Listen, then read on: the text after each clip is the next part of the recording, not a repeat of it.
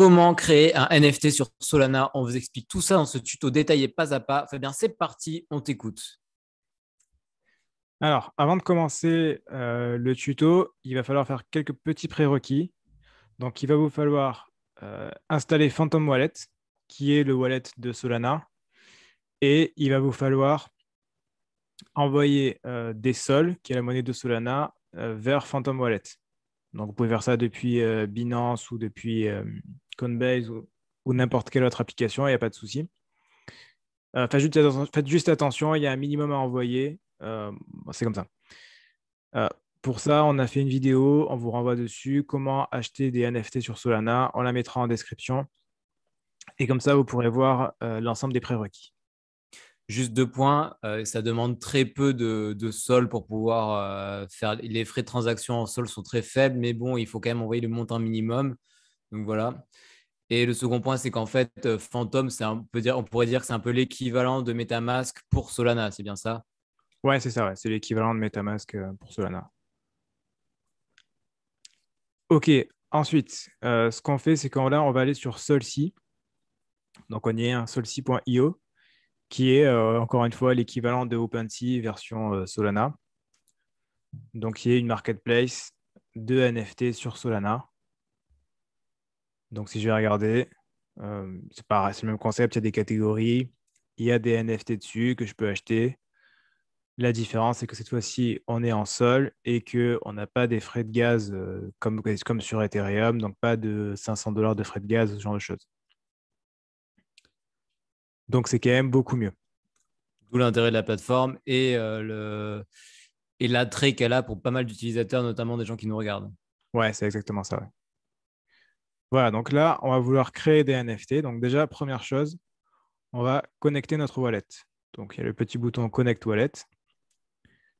Moi, je suis sur Phantom, donc on va sur Phantom. Il y en a d'autres, c'est ça? Mais Phantom, c'est la référence, c'est ça? Ouais, c'est la référence. Très bien, Phantom. Voilà, donc là, je suis connecté. Et maintenant, ce qu'on va vouloir faire, c'est créer un NFT. Donc, on va dans Créer et NFT. Donc, on peut le créer associé à une collection ou sans collection. Là, on va le créer directement. Euh, l'objectif ici de la vidéo, c'est vraiment de créer un NFT. Créer un NFT et le vendre. On fera une vidéo plus tard sur comment créer une collection de NFT sur Solana d'ailleurs. Ouais, voilà.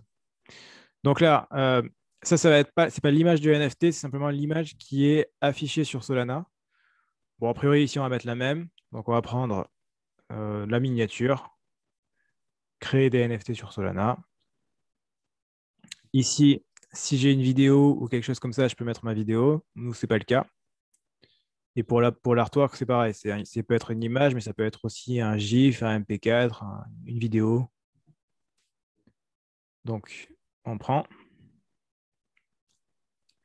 Voilà, donc ici, on met son titre. Le titre qui doit faire moins de 20 caractères. Donc moi, je vais mettre créer NFT Solana. Ensuite, on rajoute une description. Alors, c'est des champs qui sont obligatoires. Hein. Donc, je ne peux, pas, passer outre.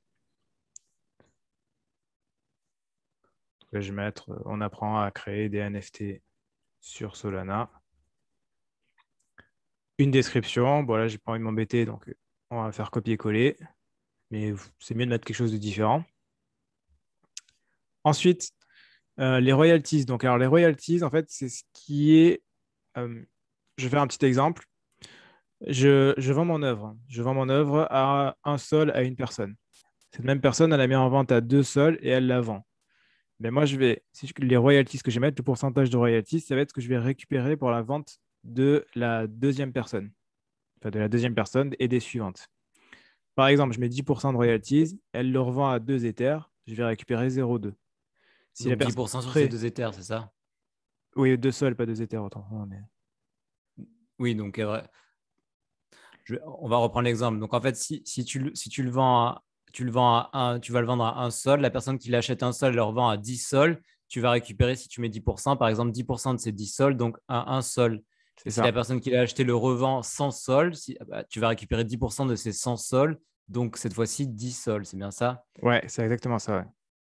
Donc en fait, tu es impliqué sur toute la durée de vie euh, de, euh, du le cycle de vie de l'œuvre. Donc en tant que créateur, tu récupères de l'argent à chaque fois que l'œuvre se vend. Exactement, ouais. c'est exactement ça. Donc, tu as tout intérêt à ce qu'il y ait beaucoup, beaucoup de volume de vente et que l'œuvre se vende euh, et se passe de main en main de façon fréquente et récurrente. Ouais, l'idée, c'est d'avoir le mieux, c'est de vraiment que, que, ça se vende beaucoup, que ça s'échange beaucoup, en fait. Ok, intéressant. Donc, vous pouvez mettre de, de 0 jusqu'à 50. Je ne conseille pas mettre 50. Hein. Je pense que au max, vous pouvez monter jusqu'à 7,5. Au-delà, les gens risquent de ticker et du coup, vous risquez de perdre des ventes à cause de ça, en fait. Ce serait dommage. Ensuite, euh, une URL externe si vous avez quelque chose à montrer ou si vous voulez voir quelque chose. Les tags, donc ça va être la catégorie. Donc euh, bah, vous regardez, en l'occurrence ici, euh, on va mettre une image, hein, bien de plus que ça. donc pas de collection, pas de licence associée. Alors les trades, ça va être très important si vous avez des collectibles, notamment avec des niveaux de rareté, ce genre de choses vous allez me définir en fait toutes les caractéristiques, c'est ça les traits. Donc par exemple, j'ai la couleur de fond qui est ici en violet. Euh, j'ai le texte. Je préparais la vidéo, hein, c'est pour ça qu'il y a les petites images qui est en vert. J'ai encore le texte qui est en blanc.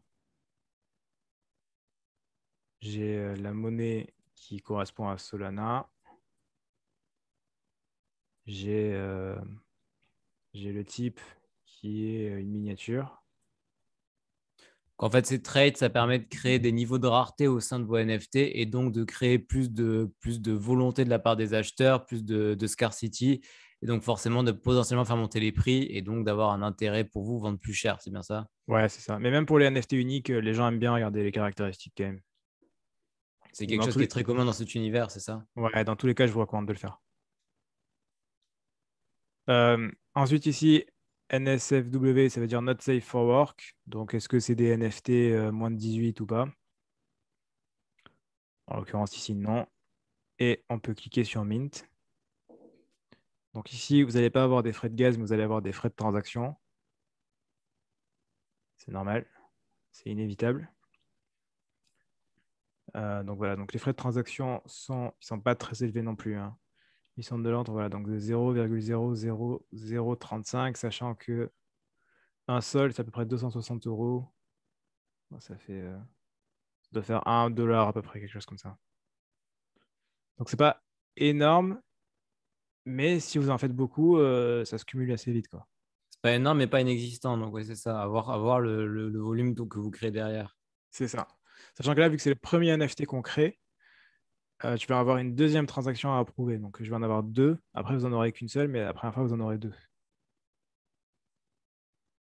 Donc, ça va coûter un peu plus.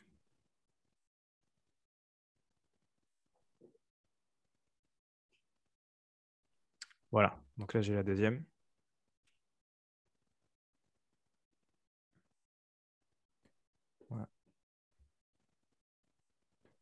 OK. Euh, ce qui se passe maintenant, c'est que le NFT va être minté. Ça prend un peu de temps, euh, c'est normal. Vous inquiétez pas si, euh, si vous dites c'est long ou quoi que ce soit, c'est normal. Hein. C'est un temps de transaction qui est, qui est standard. il ne faut pas oublier que minter un NFT, c'est beaucoup, beaucoup plus de transactions que simplement faire un swap ou un envoi ou un échange, ce genre de choses. Donc, vu que c'est beaucoup plus lourd, il y a beaucoup de vérifications. En fait, là, ce qui se passe en ce moment, c'est qu'il y a pas mal de. Il y a des mineurs qui vont vérifier la transaction. Et donc, il y en a plein qui vont vérifier la transaction. Et si tout le monde est OK pour la vérifier, ça passe. C'est pour ça que ça prend un peu de temps. Bon, encore, mineurs, euh, des, gens, des gens qui minent, pas des gens qui ont moins de 18 ans. Hein, oui, et c'est même pas des vrais gens, hein, c'est des ordinateurs. Hein, c'est pas non plus. Euh. Voilà, donc vous pouvez voir votre transaction sur Solana. Euh, en fait, c'est un peu comme le Etherscan pour ceux qui connaissent sur la version Ether. Ici, c'est sur Solana. Vous voyez votre transaction, est-ce que ça a été minté ou pas. on voit que Solana est très jeune parce que même le mainnet est encore en version bêta. Ce qui est plutôt une bonne chose. C'est toujours une bonne chose d'être euh, early, comme on dit dans le milieu. Voilà, donc vous avez votre NFT, les euh, seller. Donc voilà, vous avez, vous avez tout ce qu'il faut c'est plus pour la culture qu'autre chose, hein, c'est pas vraiment utile. Et vous pouvez voir votre mint. Voilà, donc vous avez les infos, votre NFT. c'est pas partie d'une collection, c'est une image. Voilà, vous avez ce qu'il faut. Euh, si vous allez sur Phantom, donc sur votre petit wallet, normalement vous devriez également pouvoir voir le NFT en cliquant ici. Voilà. Il apparaît, il est là. Donc ça, c'est votre NFT. Ça, c'est là une différence par rapport à MetaMask. Sur MetaMask, on ne peut pas les voir. Sur euh, Phantom, on peut les voir. Ça, c'est quand même une différence majeure au final. En cliquant juste sur la petite extension, pour voir la collection directement de NFT. Ouais, ouais, bah, c'est mieux. Je, crois que sur mobile, sur MetaMask, ça commence à arriver, mais sur desktop, toujours pas. Donc, euh, maintenant, ce que je vais faire, c'est que je vais le mettre en vente. Puisque, bon, il est, c'est bien, mais j'ai envie de le vendre, je vais faire de l'argent. Donc, je vais aller euh, regarder mes NFT. Donc, j'ai, donc, listé, ça veut dire mis en vente, hein, c'est ça. Et donc là, je vois bien que j'ai mon NFT qui n'est pas encore en vente. Notre listed, ça veut simplement dire pas en, pas en vente au final. Et donc là, ce que je vais faire, bah, c'est que je vais simplement cliquer sur lister le NFT, donc le mettre en vente. Ici, je définis un prix. Euh, on va dire euh, allez, 0,02. S'il y en a un qui veut l'acheter, n'hésitez pas. Voilà, 0,2 sol, petite miniature, exclusive. Premier NFT de Solci. Euh, est-ce que c'est une vente privée? Donc là, ça va être si je veux envoyer, si je veux la vendre à une adresse en particulier, donc à quelqu'un en particulier, je mets son adresse. Je peux montrer. je peux montrer. Donc là, c'est euh, est-ce que je mets une adresse en particulier? Donc en l'occurrence, non, je le mets en public. Et donc, je vais le mettre en vente. Encore une fois, je vais devoir payer des frais de transaction dessus. C'est normal, hein, c'est partie du jeu. Donc c'est pour ça, en fait, vous mettez en vente, euh, bah, il faut savoir que ça, voilà, c'est encore une fois, c'est pas énorme, mais ça se cumule. Donc, quand vous mettez en vente, en général, il faut quand même savoir que euh, c'est pas gratuit et que ça se cumule. Donc, si vous voulez, euh, il faut, avoir quand même une petite idée ou mettre des choses intéressantes dessus, quoi. Là, on fait ça pour la démo, mais dans l'idée, euh, finissez votre artwork avant de le mettre en vente. Exactement. Et voilà. Et là, le NFT est en vente. Donc là, bah, du coup, je vais le voir dans My Listed NFT. Ah, je n'aurais pas dû actualiser comme ça. C'est pas grave. Ça m'a déconnecté. Tu as juste à te reconnecter, rien de bien, rien de bien grave. Voilà. Et donc voilà, donc je vois mes NFT qui sont listés et je vois qu'il est en vente à 0,2 sol. Il est dispo à cette adresse. Bon, moi, je peux l'acheter parce que c'est le mien. Ah, si, je peux l'acheter. Donc voilà, on peut l'acheter, il est dispo. Je vois mes royalties. Ah, c'est pour ça que tu disais qu'en fait, si les gens voient un montant de royalties trop élevé, ils vont dire euh, c'est scandaleux, c'est du foutage de gueule, il veut se gaver, du coup, ils vont pas, ils vont pas le prendre à cause de ça, c'est ça? Ouais, c'est ça, parce qu'en fait, ça se voit en fait. Donc du coup, si ici il y a marqué 50%, euh, dit bon, ok, euh, le mec. Enfin, c'est ça. Enfin, il est là vraiment uniquement pour l'argent, enfin, ce qui est le cas, mais enfin, il faut pas abuser, quoi. Ok, et je vois qu'en haut, on peut voir le nombre de vues aussi, c'est ça? On peut voir le nombre de personnes qui ont cliqué sur l'œuvre peut voir le nombre de vues et le nombre de personnes qui ont liké. Ça peut être important aussi. En fait, c'est le trafic, comme ça on peut voir le taux de conversion derrière. C'est ça, c'est exactement ça. Ici, c'est intéressant pour. Ici, c'est pas vérifié. Euh, je peux vérifier les NFT. Il faut, faut mettre, il y a pas mal de choses à vérifier. C'est pas l'objet de la, c'est pas l'objet de la vidéo ici, donc on va pas partir dans le détail. Euh, bah, si ça vous intéresse, on fera peut-être d'autres vidéos pour voir comment créer une collection, faire vérifier sa collection et ainsi de suite. Voilà, ici on est vraiment pour euh, juste, euh, je le mets en vente, comment le mettre en vente, euh, où est-ce qu'il est, voilà. Ok, je pense que tu as dit tout ce qui était nécessaire de dire pour cette vidéo. Tu as quelque chose à ajouter? Bah, Si vous voulez en apprendre plus et si vous voulez apprendre à gagner de l'argent avec les NFT, vous, pouvez cliquer sur le petit lien dans la description. Mettez-nous un petit pouce bleu, je te laisse finir, je sais que tu aimes bien. J'adore. Donc, donc voilà, n'hésitez pas à cliquer sur la description pour euh, voir si pour apprendre à gagner de l'argent avec les NFT. Euh, Laissez-nous le petit pouce bleu en bas de la vidéo, ça nous aide beaucoup et ça nous aide à faire de nouveaux tutos, encore plus de tutos sur Solana ou sur d'autres plateformes. Euh, n'hésitez pas à vous abonner à cette chaîne également, à partager ces vidéos autour de vous. Et on se dit à très bientôt pour une prochaine vidéo, un prochain tuto ou une prochaine vidéo sur un autre sujet, mais toujours lié à l'univers des NFT. D'ici là, portez-vous bien, faites de l'argent et à la prochaine. Ciao, ciao. À la prochaine, ciao.